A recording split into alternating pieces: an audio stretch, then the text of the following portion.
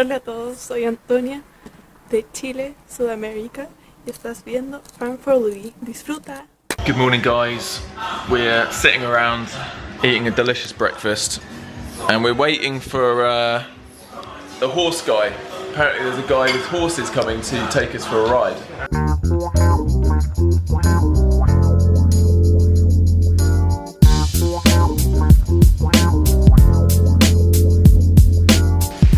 Been waiting around for a couple of hours, guys, and it doesn't look like the uh, the horsey guy is going to show. So I don't think we're going to get to ride horses today, which is sad.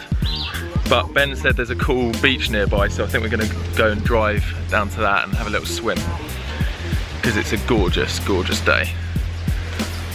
We're getting lathered up.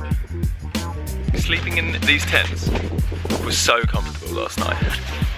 Honestly amazing. I just couldn't get over the fact that four of us were sleeping on the roof of a car.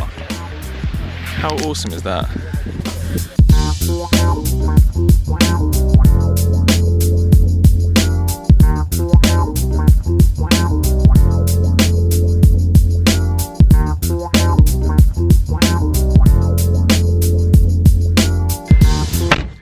So I think we're ready to head off. We grabbed a bunch of water. Remember to stay hydrated guys, very important, especially in the heat.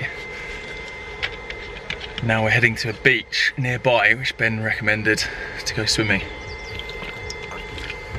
Some guy just drove into us with a lorry.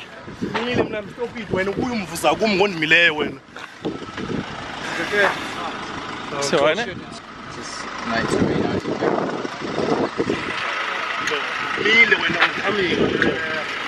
Right. Thankfully, there's no damage to the car.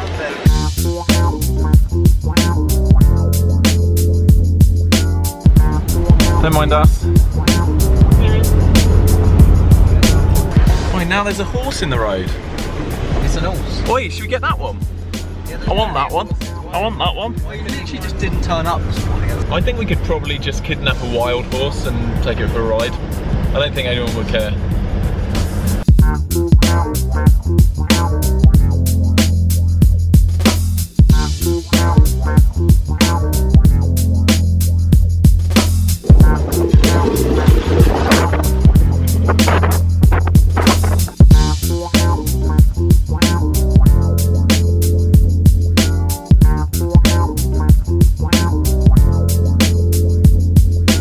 We have just pulled over to get some shots, but Nick's showing us a random girl's story because we've got quite a few random users on the app now.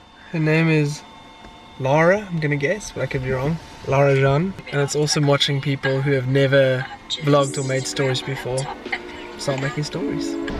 We're gonna go and check out this place to find some food. It's pretty legit. Guys, look at this burnt out bus. Louis, that is what you need in your life. That's amazing.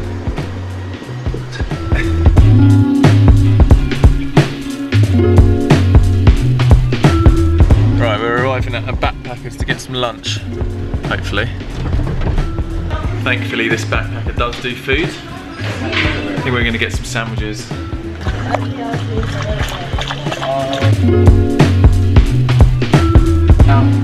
Bosh. All right. Mm. Right, we've eaten, we've had our coffee, now we're going to go meet Dan, He's just come back with Pumbaa from East London. Yay. And I think these guys are going to go surfing. Oh yeah, we are. Surfing. I, I don't know if I will, because it's a little bit cold. Killed by sharks.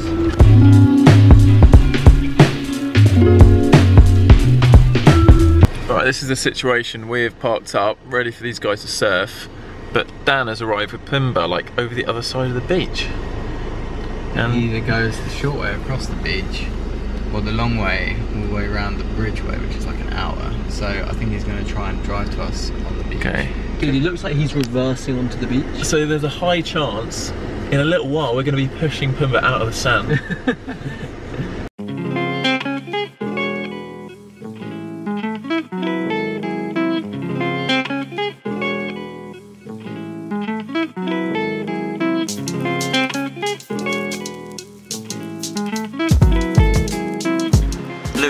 You gonna go swimming?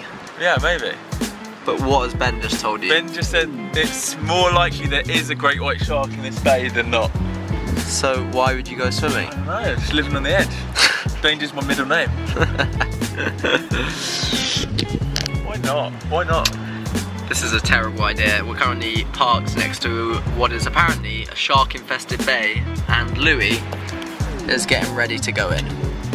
Coming in? Ben, word on the street is that it's likely there's a great white in there. Over here. Yeah. In the bay? yeah. Probably. Like the likelihood is there is a shark around these parts. But you think that it is worth swimming, even though there is a chance. Like there is a chance you could get eaten by a shark. Yeah. All right. Well, we've weighed it up, and I think the decision is that we're all going swimming. Guys, Pumbaa has arrived with Dan and this is Ingrid. Hey. How's your journey, bro? Good, bro. no, dude, it was uh, it was quite a mission, but we we sorted everything out. My foot is fine. It's over a nice sock. It's like a little area for my Nice. toes to come out. So they didn't amputate in the end. Yeah, so I'm gonna sit. What's up, bro?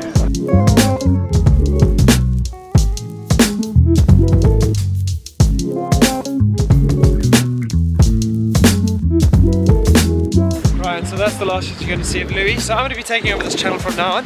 Nice to meet you guys.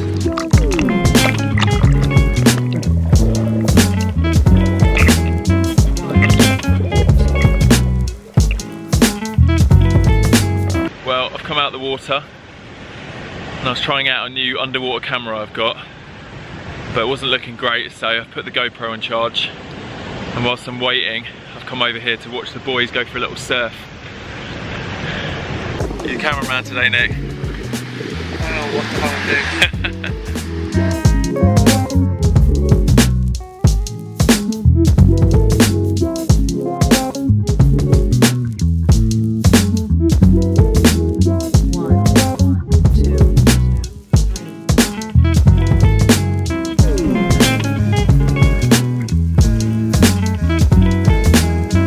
Did the sea get you, Jack? a little bit wet. Oh dear. My camera got wet. Oh no.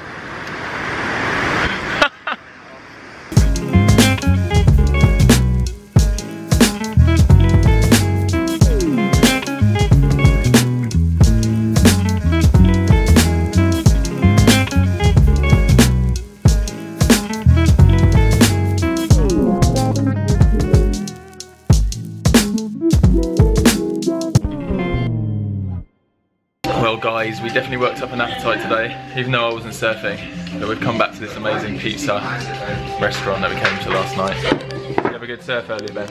Yeah, it was pretty sketchy. When I was sitting on my board, my toes were actually touching the rocks where Yeah. you had to take off.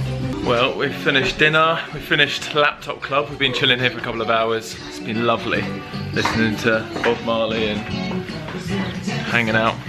The uh, the other guys have all gone to bed. They're actually staying for uh, for the day tomorrow, but sadly Jack is leaving. He's only been here like th three days. Three days, man. I'm so sad to be leaving. Yeah, it's been like the coolest couple Oh, days hanging with you bros. yeah. What about hanging with the chicken?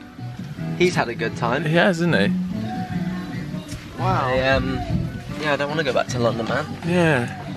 You should have stayed out longer, bruv.